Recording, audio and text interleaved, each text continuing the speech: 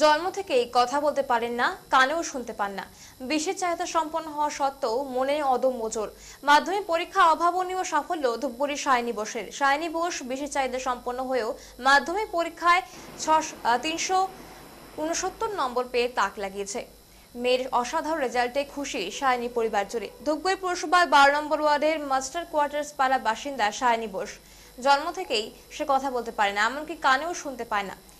ছোট থেকে সায়নীকে এগিয়ে নিয়ে যেতে পাশে দাঁড়ায় তার বাবা এবং মা। সায়নী যাতে সমাজের সকলের সামনে মাথা উঁচু করে চলাচল করতে পারে, এর জন্য যোগাযোগ করা হয় স্বেচ্ছাসেবী সংগঠন খগেনহাট ওয়েলফেয়ার অর্গানাইজেশনের সঙ্গে এবং সেখানে শুরু হয় সায়নীর পথ চলা। সেই সংস্থার মাধ্যমে সায়নী সমস্ত কিছু শিখতে শুরু করে। সায়নী যেহেতু শুনতে এবং বলতে পারে না, সেই কারণে পরীক্ষা দেওয়ার সময় তার যাতে প্রশ্ন বুঝতে অসুবিধা না হয়, সেজন্য একজন ইন্টারপ্রেটার ব্যবস্থা করা হচ্ছিল।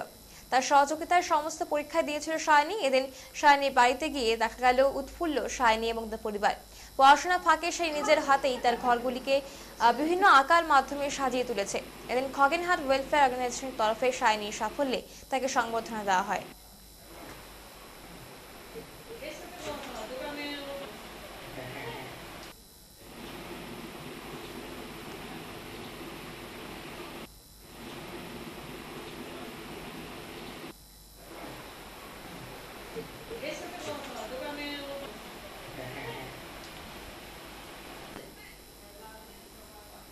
পাখি দুইটা তুলিস, পাখি দুইটা।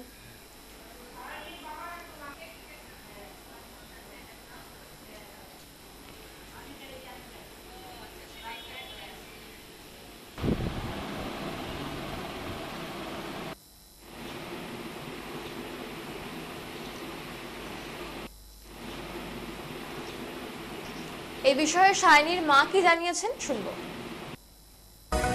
সেভেন্থ হেভেন অফ হ্যাপিনেস এবার আপনার শহরে। পরিষ্কার পরিচ্ছন্নতায় আপনার পছন্দের কেক পাবেন মাত্র সাত মিনিটে। Seventh heaven slice of happiness এই নিন shopping mall Keshab road Coochbehar mobile nine three six nine eight five one three zero six Dhupguri girls high school আচ্ছা মানে কেমন করেছে রেজাল্ট? মানে কত নাম্বার পেয়েছে? ভালোই করেছে। তিনশো উনসত্তর পেয়েছে। আচ্ছা, ওর কি অসুবিধা? ও ডেফ অ্যান্ড ডাম মানে শুনতেও পায় না বলতেও পারে না। কীভাবে তাহলে দিল ওই পরীক্ষা? ও সাইনে মানে পড়াশোনা করে তো ওদের সাথে ইন্টারপ্রেট ছিল। তো এই এই পুরো ব্যাপারটা যেখান থেকে আমি মানে আমার পথ চলা শুরু সেটা হলো আমাকে সহযোগিতা করেছে খগেনাথ ওয়েলফেয়ার অর্গানাইজেশন সেখান থেকে আমাদের পড়াশোনা শেখানো সেখান থেকে সব কিছু করা। এইভাবে আমি এতটা দূর এগিয়ে নিয়ে গেছি। যে মেয়ের এই সাফল্য মানে কেমন লাগছে? ভীষণ ভালো। বলতে গেলে সায়নী সত্যি গড গিফট আমার কাছে। ও কথা বলতে পারে না বা শুনতে পারে না সেটা নিয়ে আমার কোনো দুঃখ নেই। আচ্ছা, মানে সামনে কীভাবে দেখতে চাও ওকে? ও আরও ভালোভাবে পড়াশোনা করুক আরও ভালো উন্নত করুক ওর জীবনটাকে কিছু করুক জীবনে আমি এটাই চাই।